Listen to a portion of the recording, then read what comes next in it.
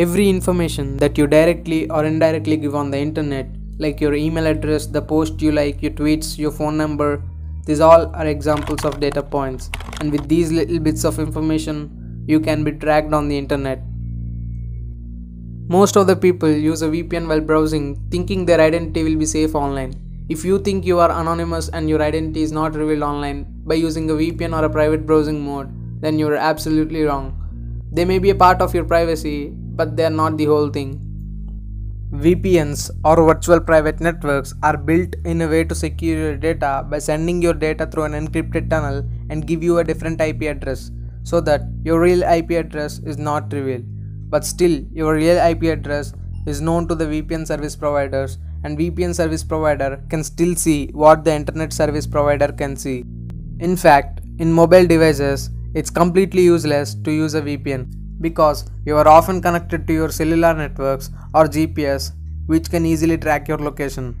Modern tracking methods collect very specific information about you so that it becomes easier to track you.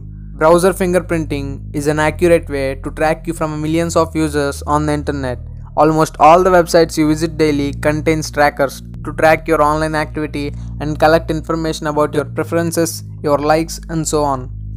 Whenever you visit a website, when a tracker first encounters you, then the tracker will assign a unique ID to your system, which is indirectly you based on your screen resolution, what plugins you use, your time zone, system fonts, information about your cookies, the device you use, and specific information like this, so that it can recognize you further and collect more and more information about you. Let's suppose you visit a website for looking something and after some time you see the same product as an advertisement here the tracker is able to recognize you that you are the same person who visited a website few minutes ago looking for that product.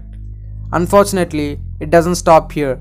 Most of the ad trackers collect users information not only to serve ads but also collects more sensitive information about you so that these websites can sell your data to data brokers. 200 billion dollar industry based on selling your personal information to companies that you never heard of.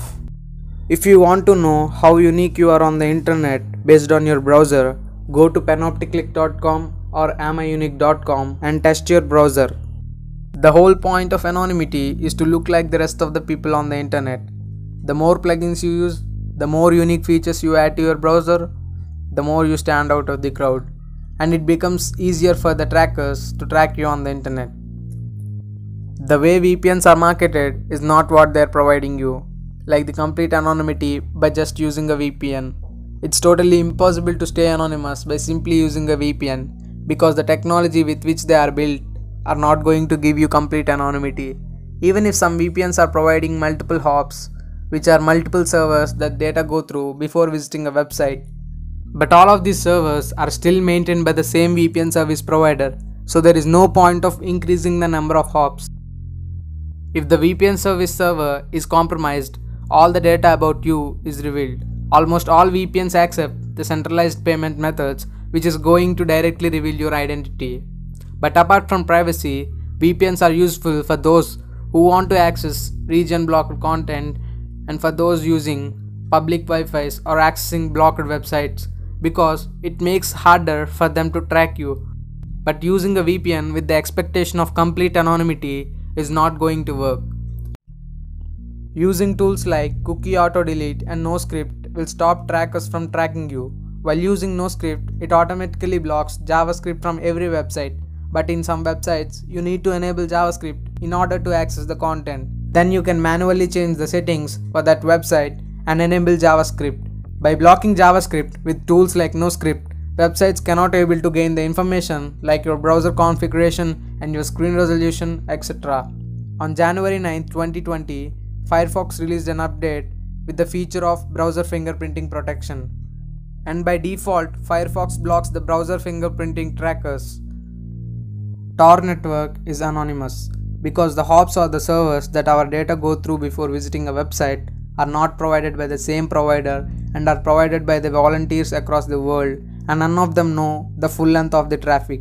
Tor has three layer protection and is designed in a certain way to give all of its users the same identity. But if you want to use Tor network to log into your social media accounts, then you are using this tool wrong.